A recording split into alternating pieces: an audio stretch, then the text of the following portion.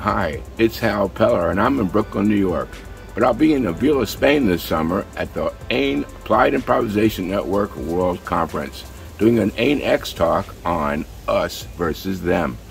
That's right, us versus them. It's very common, and I use applied improvisation to remove those barriers.